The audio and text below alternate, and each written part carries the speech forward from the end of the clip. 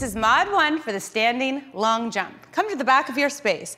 Get into that squat position, bend into those knees about 50 degrees. As you jump, swing those arms up. Land safely. And then step to do the opposite way.